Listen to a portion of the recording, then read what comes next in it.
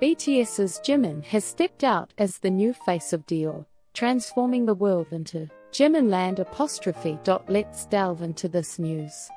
The luxury brand Dior recently emphasized its new identity by showcasing its Dior Men's Spring 2024 campaign with Jimin, who is a friend of the Dior house and a global ambassador.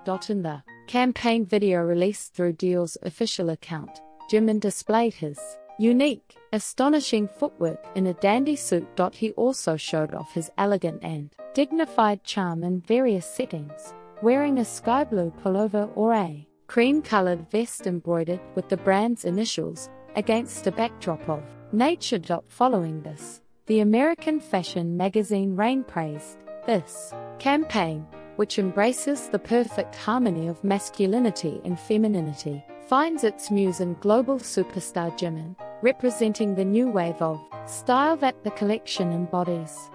They added, by choosing Jimin as the face of a new era, the campaign invites us into a world where fashion is not just about wearing clothes, but living and experiencing within them.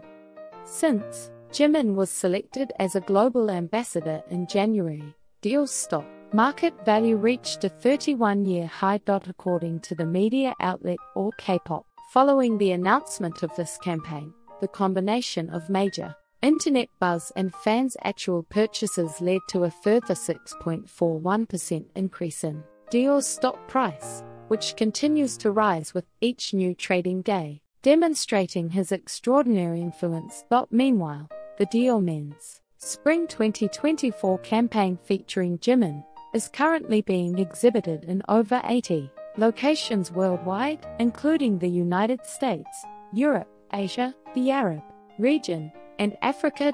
This ambitious project by Dior, on a scale previously unseen, is creating new history together with Jimin. That's all for today's news. If you liked this video, please like, subscribe, and turn on notifications. Thank you, and goodbye.